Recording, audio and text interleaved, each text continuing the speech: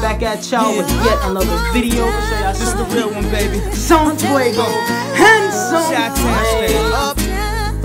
What's going on YouTube? Jerry the Kid is back at y'all with yet another video with yet another sneaker review. And y'all know what today is. It's Throwback Thursday. And I'm finna show y'all some throwback kicks. For today on this episode, I'm gonna show y'all some heat, some fuego, and some flames. Yo, I always got heat on each Throwback Thursday video. Y'all already know this. Y'all already know what the deal is.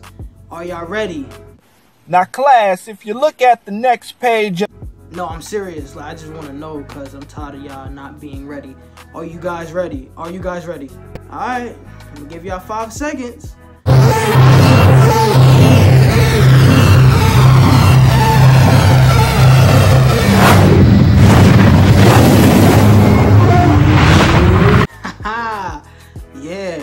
Told y'all.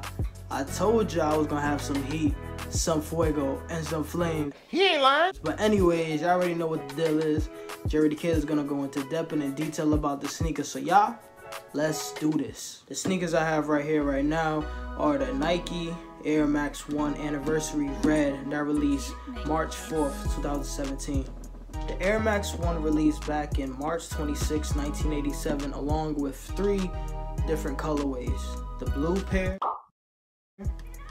the obsidian, and the aqua. The Air Max 1, to my opinion, is the most comfortable Air Max I've ever put on my feet. Um, it was the first Air Max to ever have a visible air bubble at the bottom. Extremely comfortable sneaker. It's a very flexible sneaker. It's not a running sneaker, but it's a good sneaker you could walk in all day, to my opinion. And uh, these sneakers fit true to size. I really appreciate the little bro for letting me um, talk about these sneakers on the Throwback Thursday video today. And I am so thankful, bro. Appreciate you, man. Shout out to you. You're the GOAT. You're the GOAT. Yo, I've been waiting for this all day. As I'm doing this video, I can't wait for the best part. The on feet. Y'all ready for the on feet? Let's do this.